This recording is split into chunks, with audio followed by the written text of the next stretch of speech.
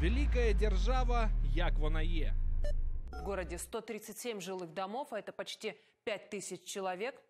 Но и также соцобъекты. Морозы вскрыли недостатки в отоплении многоквартирных домов Корсакова.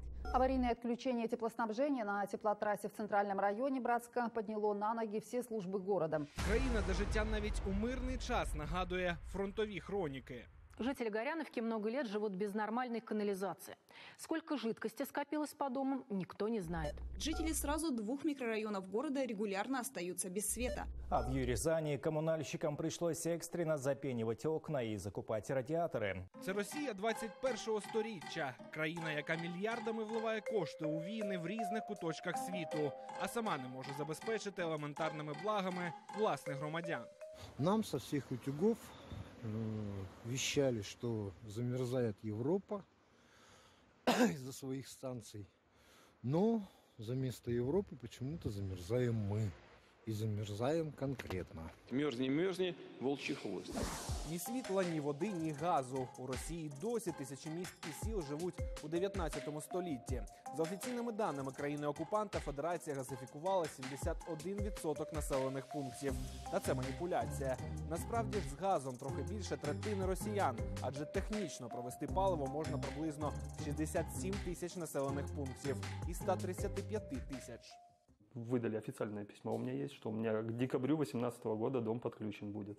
До сих пор не подключили. В очікуванні обіцяної газифікації мільйони росіян гріються дровами. Це якщо пощастить і поруч є ліс. А от у Дагестані, наприклад, і цього немає. Тож як паливо люди використовують кизяки. Вот так мы это вытаскивают на улице, сушить, и потом ставят печки. Говорят, что газифицировать будут, не знаю, до, до нас это еще не дошло. Замерзає і Бурятія. Централізовано опалюють населені пункти переважно вугіллям. Але як виявилося, і його російські чиновники забезпечити не можуть. Це при тому, що Росія, начебто, друга країна у світі за кількістю покладів. Посмотрите, сколько запасов угля село Новокижингинск 13 декабря. Приезжал сотрудник Кижингинской администрации, сказал, что у нас запасов очень много. Вот смотрите, пожалуйста, сколько запасов у нас сейчас на утро. В школе у нас сейчас 10 градусов. І навіть за кількасот кілометрів від Москви про газ люди можуть лише мріяти. В Белоруссии газ есть. В Белоруссии есть, да. В Чечне есть. В горных районах есть. А у нас в Центральной России, где вы этот... Ничего нет. В общении с главой администрации он сказал, что наше село нерентабельное. Типа. Мерзни, мерзни, волчий хвост.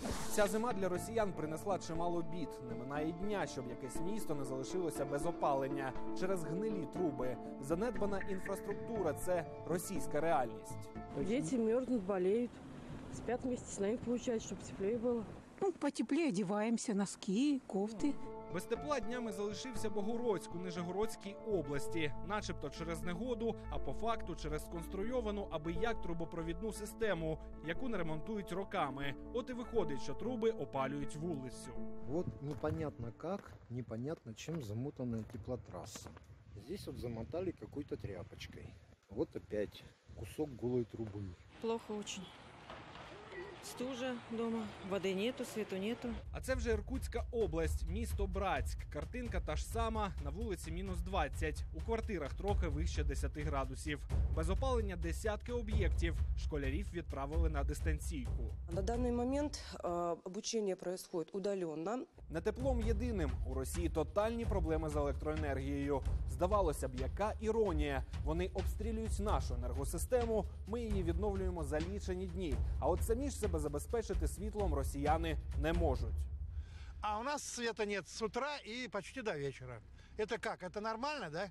Вы считаете? Я считаю, что это ненормально. Это по-скотски вообще. А телевизор смотрите? Да, вот два часа включаем и утром включаем. То, то есть электричество в 2 часа появится? Да, да, дня.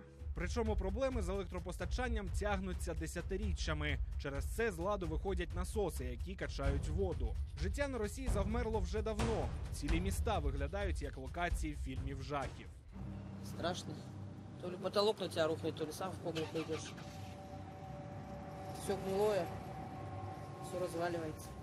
Це Хабаровськ, прикордоння з Китаєм. Тут люди живуть у бараках без води, часто без світла, тепла і каналізації. Живуть поруч із власними екскрементами, бо ж відходи викидають просто у двір. Мы уже живем 44 года. И до сих пор сносим. Завалит, как все валится нам. Вечером протопили немножко.